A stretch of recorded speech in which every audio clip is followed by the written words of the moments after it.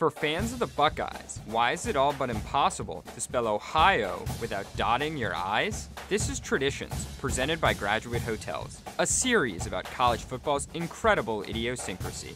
They call themselves the best damn band in the land, and they have one of the most identifiable customs tied to maybe the best program in college football.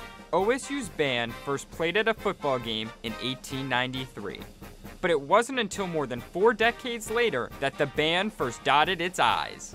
The tradition began on October 10, 1936, when the Ohio State University squared off against Pittsburgh. Band director Eugene J. Weigel felt inspired by the looped Ohio script on the sign of a downtown Columbus theater and positioned his musicians accordingly. Both pregame and at halftime of OSU home games, the band forms a triple block O, then slowly unwinds to form the other letters.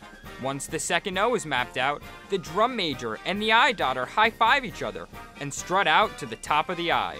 From there, as the crowd roars with unparalleled enthusiasm, the drum major points to the spot as the I dotter turns and bows to both sides of the stadium.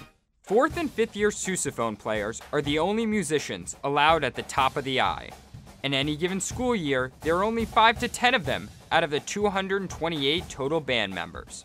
On very rare occasions, a non sousaphone player has received the honor being at the top of Script Ohio.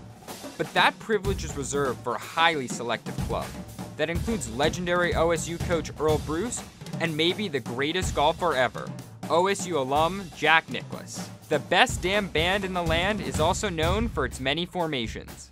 Consider the dinosaur from 1954, or more recently, Superman's emblem. Last October versus Michigan, it even tried flossing. But the script Ohio, whether it be a single, double, or quadruple, is arguably at the core of the group's identity. But the famous football tradition might be the best damn one out there. So the next time you spell out Ohio, be sure to dot your I's.